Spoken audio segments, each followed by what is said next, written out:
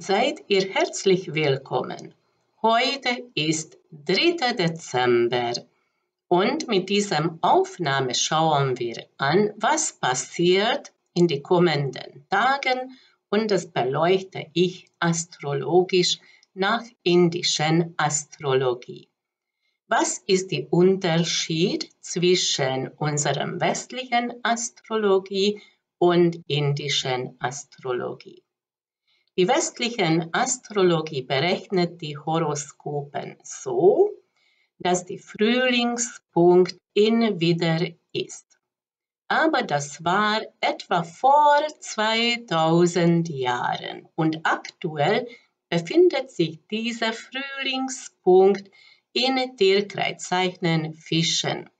Und das ist der Unterschied, weil mit diesem Fischen-Frühlingspunkt berechnen die Inder ihren Horoskopen. Also wundert euch nicht, wenn ich erzähle, wo Sonne, Mond und die Planeten sich befinden, dass ein Unterschied gibt. Vor ich erzähle, was ist zum Erwarten in die kommenden Tagen, möchte ich eine Übung zeigen. Das sind die Finger-Yogas.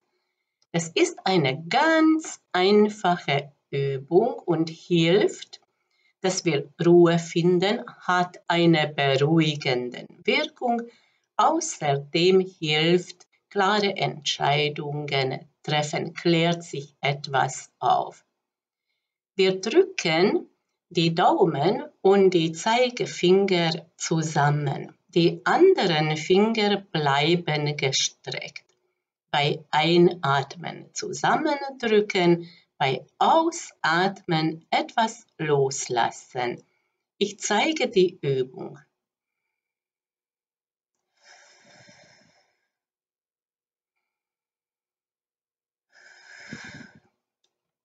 Und diese Finger-Yoga-Übung hat eine beruhigende Wirkung.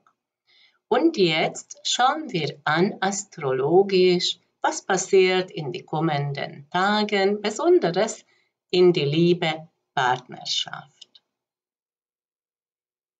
4. Dezember ist Neptun im Stillstand dann ändert sich die Richtung und bewegt sich Neptun vorwärts bis 1. Juli 2023. Dann wird wieder im Stillstand sein und bewegt sich wieder rückläufig. Neptun bewegt sich aktuell in Zeichen Wassermann in Luftelement schenkt Leichtigkeit, hilft bei Kommunikation, wobei bei Neptun-Energie ist es nicht ganz einfach, weil es ist oft undurchschaubar. Kann auch sein, dass jemand erzählt etwas märchenhaft und wir wissen nicht, wo liegt die Wahrheit. Dürfen wir das glauben oder eher nicht? weil Neptun kann auch Enttäuschungen oder Vortäuschungen auch bewirken. Aber was Neptun noch aktiviert, das sind unsere Träume, unsere Vorstellungen. Und hier bei Wassermann Energie wird unsere Fantasie aktiviert. Und das soll ein Ziel sein. Und wenn wir daran glauben, dann wird dieser Traum auch wahr.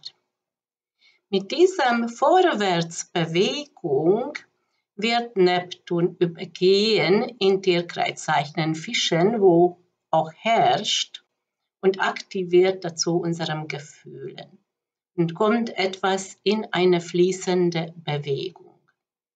Wenn Neptun wieder rückläufig wird nächstes Jahr, dann geht wieder zurück in Zeichen Wassermann. Also bewegt sich im Grenzbereich zwischen Wassermann und zwischen Tierkreiszeichen Fischen. Hier ist wichtig, wie stellen wir das vor, unserem Zukunft, auch in die Liebe, Partnerschaft, auch beruflich oder finanziell oder was die Familie oder Freundschaften betrifft. Wenn wir meditieren und haben wir diese klare Vorstellung und wir glauben daran, dann passiert Wunder. Wenn wir daran nicht glauben, dann kann diese Neptun-Energie zum Enttäuschungen führen. Und wie ist das jetzt in die Liebepartnerschaft? Nach indischen Astrologie bewegt sich Mars rückläufig in Tierkreiszeichen Stier. Und das hat einen Einfluss auf die Männer.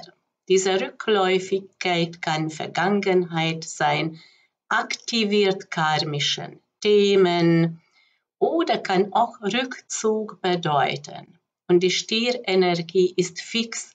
Die Männer möchten etwas festhalten oder sie brauchen Sicherheit und Stabilität. Venus bewegt sich gegenüber in Tierkreiszeichen Skorpion im Wasserelement, aktiviert bei uns Frauen die Gefühle. Und hier spiegelt sich etwas zwischen Mann und Frau. Venus befindet sich in Gandanda, im Grenzbereich zwischen Wasserelement und Feuerelement zwischen Skorpion und Schütze, weil ab 5. Dezember bewegt sich Venus dann im Schütze, kommt die Feuerelement dazu, aktiviert Bewegung und wir Frauen möchten auch etwas in Bewegung setzen. Das kann Ausland sein oder Auslandskontakten, Reisen. Allerdings diese Reise kann auch eine innere Reise auch sein, eine seelische Verbindung in die Liebe oder Spiritualität. Aber diese Gandanda-Energie löst bei uns Frauen in den kommenden Tagen Unsicherheiten aus. Oder Zweifel, ein Hin- und Hergerissenheit. Wie soll das weitergehen? Und wir sollen auf die Neptun auch achten bestimmte Vorstellung haben, daran glauben und unserem Glauben stärken, dann geht alles voran. Dabei hilft gerade die Mondbewegung. Nach indischen Berechnung bewegt sich Mond in Tierkreiszeichen wieder. Und es kann Neuanfang sein. Besonderes weil Uranus ist auch im Widder und sorgt für Veränderungen, unerwarteten Ereignissen. Und 5. Dezember erreicht Mond die aufsteigenden karmischen Knoten, aktiviert karmischen Themen und das wird eine neue Richtung sein. Entweder in die Liebe Partnerschaft oder diese Veränderung kann auch beruflich sein oder ein Umzug oder eine wichtige Reise, besonders mit Schützenenergie natürlich. Also wir Frauen können mit Bewegung, mit Veränderungen rechnen, kommen Einflüsse von außen, unerwartete Ereignisse. Die Männer dagegen sind etwas bequem und sie wollen etwas festhalten, das Leben genießen. Und ich wünsche dir einen schönen Tag alles Gute und alles Liebe.